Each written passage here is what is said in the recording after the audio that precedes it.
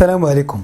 مرحبا بكم في حلقة جديدة من أجي تعرف عرف بلي كنهضر بزاف راكم عارفين القراية والامتحانات صو ما عليناش غنحاول ما أمكن إن شاء الله أنني نحط فيديو في كل سيمانة ولا 10 أيام إن شاء الله كاينة سلسلة فيديوهات اللي واعرة داكشي صوت وصورة داكشي غيكون واعر ديال بصح. الصول عليكم نتوما هو أنكم تشتركوا في القناة وتفعلوا جرس الإشعارات باش يوصلكم كل جديد إن شاء الله. so نبداو. هذا السيد اللي غنهضروا عليه اليوم هو أكثر شخصيات غموضا في تاريخ المملكة المغربية وهو اليد اليمنى للملك النابغه الحسن الثاني وهو منفذ ومدبر لأخطر عملية انقلاب طرات في المغرب وعلى الملك الحسن الثاني. so غنقدموه في الطريقة ديالنا. ساداتي سيداتي ladies and gentlemen رحبوا معي بصاحب النظارات السوداء القاتمة أب كل القوات المسلحة المغربية وعراب الجلادين حامل كل أخطاء النظام السياسي المغربي في سنوات الرصاص. الجنرال الدموي أو رجل الدم أكثر مغربي تلطخات يدو بالدم. الجنرال محمد أوفقير. تولد محمد أوفقير يوم 14 ماي 1920 في قرية صغيرة كتسمى بعين شعير نواحي بوعرفة في شرق المغرب. الأب ديالو أحمد بن قدور كان قاطع طريق حسب ما قال الصحفي كلود كليمنت وهو ضابط فرنسي سابق. ويقال أيضا أن الأب ديالو هو اللي علم وسائل التعذيب وزرع فيه السادية اللي ضغط على شخصيته فيما تبقى من الحياة ديالو. والأب ديالو أيضا كان جاسوس الاستعمار الفرنسي اللي عينوه باشا على بودنيب. درس في مدرسة بودنيب ثم التحق في إعدادية أزرو طريق بن زياد اللي كانت كتعتبر من أشهر المؤسسات التعليمية في هذه الحماية. قبل ما يغادر مدينة مكناس والتحق بالمدرسة العسكرية كانت كتسمى الدار البيضاء وكانت تحت يد الفرنسي تخرج منها بدرجة ملازم في الجيش الفرنسي عام 1941 وهو نفس العام اللي بدا فيه الفرنسيون حرب تحرير فرنسا من ألمانيا النازية وكان هتلر حصل فرنسا عام 1940 ومن ذاك الوقت وطبقا لما نشرته العائلة ديالو أنه شارك وهو ضابط مغامر صغير في حروب فرنسا وتحت العلم ديالها وغينال اعجاب الضباط الفرنسيين لاستبساله وصرامته وكل شيء كان كيعرف أنه كان قناص ماهر ديال بصح. شارك أوفقير في الحرب العالمية الثانية وبالضبط في معركة بيلفيدر ومعركة غاريليانو في إيطاليا ومعركة تحرير سينا وشارك أيضا في الحرب الهند الصينية. سنة 1955 غيترك أوفقير الجيش الفرنسي برتبة مقدم وغيرجع للمغرب وغيولي مقرب من الجنرال دوفال قائد الجيش الفرنسي في المغرب. اللي قتل في ماي 1945 40 ألف جزائري ممن خرجوا مطالبين بالاستقلال. ولأن الفجر غيطلع مهما طال سواد الليل فقد غادرت فرنسا المغرب رسميا سنة 1956 لتستقل المملكة أخيرا. بعد استقلال المغرب كان الملك محمد الخامس في حاجة لضابط بارع قادر على جمع المعلومات والتعامل بدهاء مع التيارات السياسية المتصارعة على الساحة المغربية. وما لقاش أفضل من الجنرال الشاب محمد أفقير شغل أفقير منصب مدير الأمن الوطني للمملكة خلفا لمحمد الغزاوي وغيجسن أولى الجرائم ديالو بعد قمع انتفاضة الريف شمال البلاد عام 1958 في 13 نوفمبر 1963 تعين وزيرا للداخلية في بداية حكم الملك الشاب الحسن الثاني. 23 مارس 1965 قامت مظاهرات الظلمية الشهيرة بعد تردي الأوضاع الاقتصادية وأكلت مهمة إخماد هذه المظاهرات الأفقير وكان الملك الحسن الثاني حاسم معاه يطلب منه إعادة الأمن بأي ثمن. وشنو دار؟ طلع في هليكوبتر وهز الرشاش ديالو وبقى كيرش على المتظاهرين وكيقتل فيهم واحد بواحد. وقتها أصبح الناس لا يطيقون سماع اسم محمد افقر ونعتت عائله الضحايا بالسفاح أو القاتل البارد.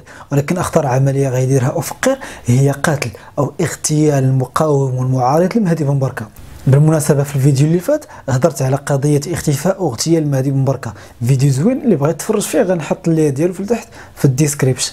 في 10 يوليوز عام 1971 كان الملك الحسن الثاني كيحتفل بعيد ميلاده الثاني والأربعون مع الضيوف ديالو في قصر السخيرات حفل غتسالى بأنهار من الدماء بحيث تعرض القصر لهجوم مسلح بقيادة الضابط محمد أعبابو قائد مدرسة أهرمومو العسكرية والجنرال محمد المذبوح. الهجوم اللي شارك فيه تلاميذ وضباط المدرسة اللي نفذوا أوامر الرئيس ديالهم اللي قال لهم أنهم فقط في مناورات عسكرية خاصة مساكن ما كانوش عارفين أنهم في انقلاب عسكري. حتى أمرهم أعبابه بإطلاق النار لتسقط عشرات الأرواح من الأبرياء من شخصيات مرموقة مغربية وأجنبية. وقام الانقلابي بالسيطرة على مبنى الإذاعة والتلفزيون ليبث للمغاربة خبرا مفاده أن المغرب صار في يد الجيش. إلا أن خلاف وقع بين زعيمي الانقلاب غيتسالى بموت الجنرال محمد المذبوح بطلق ناري بأمر من أعبابو أما النهاية ديال أعبابو فكانت هوليودية بعدما تقابل مع العدو اللدود ديالو العقيد بشير البوهالي وطلقوا النار بجوج في دقة واحدة وماتوا بجوج. وهنا وبموت زعيمي الانقلاب غادي يفشل الانقلاب وسينجو الملك ولكن القصة باقا ما سالتش فللحديث بقية.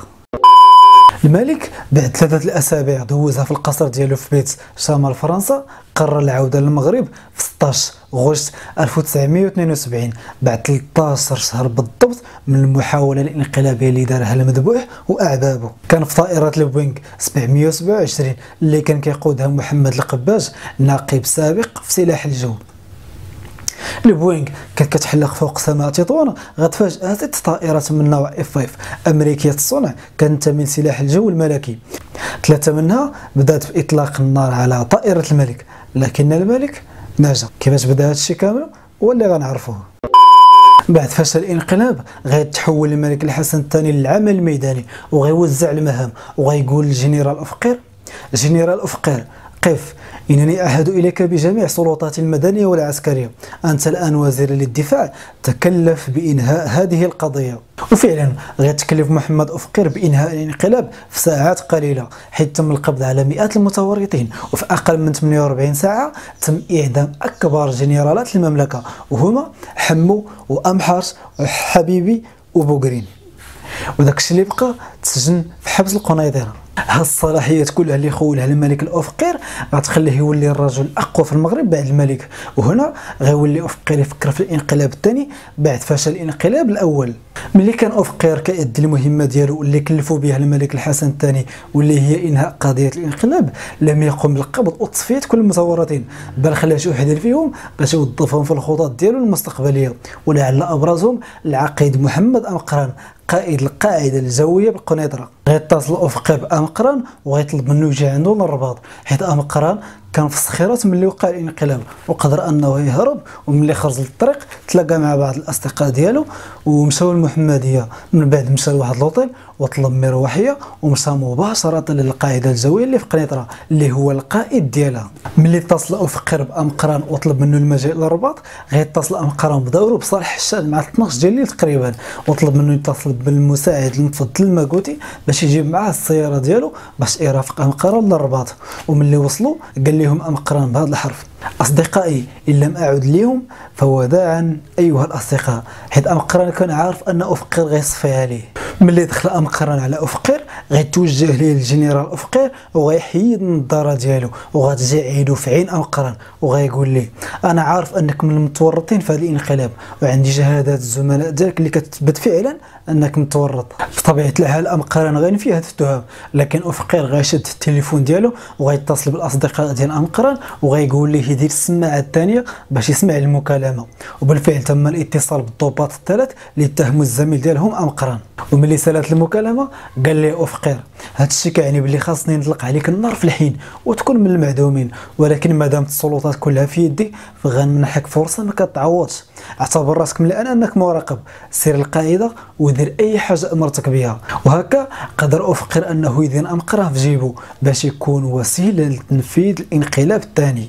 ملي ولا الجنرال أوفقير وزير الدفاع والماجور العام بدا كيزور باستمرار القاعدة الجوية اللي في قنيطره وكان الهدف من هذه الزيارات المتكررة هو باش يكسب ضباط القاعدة باش يكونوا من الأتباع ديالو ويستغلهم في المحاولة الانقلابية على الملك. وفي هذه الفترة فاش كيمشي افقير للقاعدة الجوية بدا مقران كيطرح عليه جميع المشاكل الموجودة في القاعدة. وبدوره قدر محمد افقير أنه يحل جميع المشاكل المتعلقة بالصحة والسكن والزيادة في الأجور والرتب. وكان افقير الفقير كيلبي جميع الطلبات اللي كيطلبها ضباط القاعدة. ملي تقوت العلاقة بين الافقير وامقران غيعرض عليه افقير المشروع ديالو الانقلابي على الملك الحسن الثاني وحكى له بعض الاسرار اللي كيعرفها فقط افقير وغيوافق أمقرا على عرض أفقر بعد تردد أولي. وغيطلب أفقر من أمقرا تهيئ خطة محكمة ودقيقة باش يكون الانقلاب هذه المرة انقلاب تقني وعصري عوض الفانتازيا اللي دارها أعبابه وكانت الخطة هي إسقاط الطائرة الملكية في البحر. 27 يوليوز 1972 أي بعد عام كامل من انقلاب الصخيرات الملك الحسن الثاني غيمشي برفقة العائلة ديالو والحاشية لفرنسا باش يدوز عطلة. وفي 16 غشت 1972 كان الملك في طريق العودة للمغرب. بعد ما تلقى تحذيرات من المخابرات بأن هناك تحركات مريبة داخل الجيش وعبر طائرة بوينغ 727 اللي كان كيقودها القبطان محمد القباج. وفي هذه اللحظات ستة ديال الطائرات من نوع اي 5 غتنطلق من القاعدة الجوية ديال قنيطرة في اتجاه الشمال والسبب هو استقبال طائرة البوينغ الملكية. ثلاثة من دوك الطائرات كانوا عارفين بالانقلاب ومشارجين بالقرطاس أما دوك الثلاثة الآخرين ما فيهمش القرطاس يعني ما مسلحينش. الطائرات ثلاثة اللي كانوا مسلحين وحدة كان فيها كويرة اللي هو واحد من ريوس الحربة وجوج الآخرين كانوا فيهم القبطانين زياد وبو خالف. والثلاثة الآخرين ما كانوش عارفين والو على الانقلاب من بينهم الكوماندان صالح الشاد والملازمين دحو وبو بكر. هاد الثلاثه اللي ما كانوا عارفين والو على الانقلاب كان على بالهم أنه في عمليه روتينيه وهي تنفيذ بروتوكول حماية الطائرة الملكية فهو بروتوكول جاري به العمل. هذا الشيء اللي باين أما في الخفاء فهي محاولة انقلابية. مرة فترة من الجولات الاستطلاعية دخلت الطائرة الملكية أخيرا لأجواء المغرب. ايوا وهنا بدأت القضية.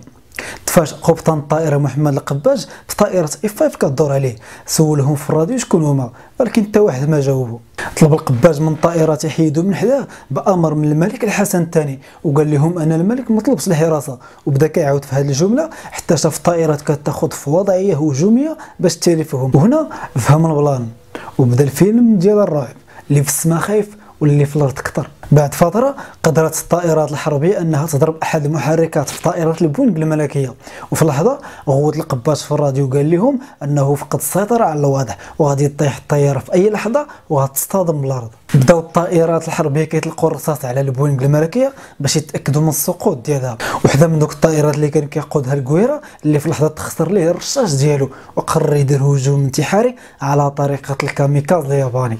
شاف المسار ديال الطائرة الملكية وقرر أنه يصطدم بها. وبالفعل مشى في الاتجاه ديالها ولكن في اللحظة الأخيرة نقز الكويرة بالباراشوت وخلى الطائرة ديالو في وضع تلقائي باش تضرب الطائرة الملكية. ولكن قدر القباج أنه يتفاداها وضرب ليه فقط الجزء السفلي. وهبط الكويرة على الأرض وشدوه رجال الدرك الملكي. وبقات البوينغ طايرة في السماء بمحرك واحد فقط. الكابيتان ديال الطائرات الحربيه تلفوا وقرروا يشعلوا النار في الطائرة الملكية. وهذه القضية تكلف بها القبطان بوخالف اللي رمى بخزان عامر بمواد حارقه على البوينغ. ولكن القباج كان هارب. ورغم أن المحركات كانوا خاسرين قدر يهبط بالطائره على علو منخفض جدا وهذه كانت مغامرة كبيرة منه ولكن قدر أنه يخليها في السماء. الطائرة البوينغ كاملة كان كيخرج منها الدخان في أي لحظة تقدر تفرقع وتطيح ولكن قدر القباج أنه يوصلها لبر الامان وهبط بها في مطار الرباط وسط دخان كثيف في مشهد هوليودي ما فهم فيه افقر وامقران توزع.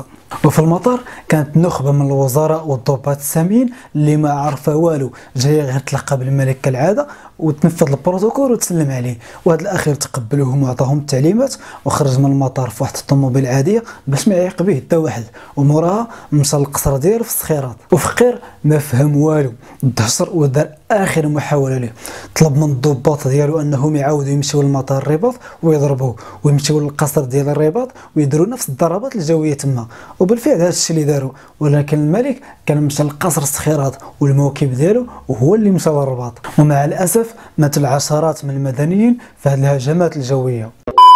القبطانين زياد وبخلف مشاو بالطائرات ديالهم لجبل طارق اللي كان تابع للمملكة المتحدة وحاولوا أنهم يطلبوا اللجوء السياسي ولكن يا لعيب مع من تحظوا الحسن الثاني سياسي محنك قدر يجيبهم من جبل طارق بتدخل سياسي صغير منه. المهم الملك اختفى وقد اموره ولكن واش كان عارف أنه أفقر مورا هذا الشيء ولا لا؟ الله أعلم. حيت أفقر رجع للقصر باش يشوف الملك ومن بعد لقاوه ميت تما.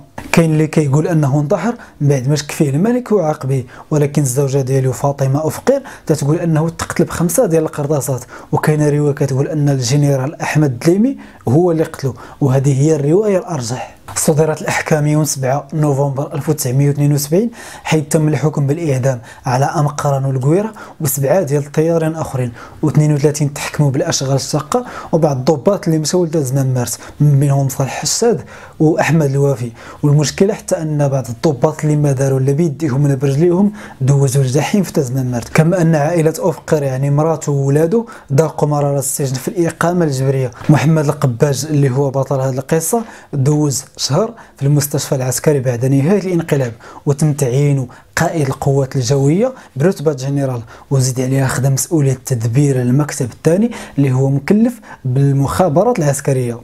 مهم بسبب هذه المحاولة الانقلابية تبدلت التعاملات العسكرية من ناحية التنظيمية والتسييرية ولا الملك وهو على رأس الهرم العسكري يعني ما بقاش الجيش بوحده والملك بوحده ولا أي قرار كبير كيخرج من عند الملك شخصيا اللي ولات كاع الهيئات العسكرية تابعة عليه. وبسبب هذا التعديل تزيرات القضية وكل شيء كيدوز على يد الملك وعاش الكل سعداء. ايوا الدراري وصلنا لنهايه ديال هذا الفيديو هذا. صراحة قصة زوينة بزاف عجبتني أنا شخصيا. جميع المصادر اللي اعتمدت عليها في هذا الفيديو تلقاوها تحت في ال description. آه so ما تنساوش تخليو لي واحد commentaire زوين تلايكوا الفيديو اللي عجبكم وتابونوا في la chaîne وفعلوا معكم جرس الإشعارات باش يوصلكم كل جديد إن شاء الله. فراه فيديو جديد إن شاء الله غيكون نهار السبت على شخصية جديدة. وأهم حاجة الدراري عندي ما تنساوهاش هي تبارطاجيو la vidéo. بارطاجيو هذا الفيديو هذا في واتساب انستغرام فيسبوك المهم عندي هو تبارطاج هذا الفيديو هذا. وما تنساوش تفاعلوا تفاعلوا على هذا الفيديو هذا حيت كلما كان تفاعل كبير كلما اليوتيوب كيطلع هذا الفيديو هذا للناس جداد باش يتفرجوا فيه. so ما تنساوش الدراري like و share و subscribe. تهلاو لي فراسكم. السلام عليكم.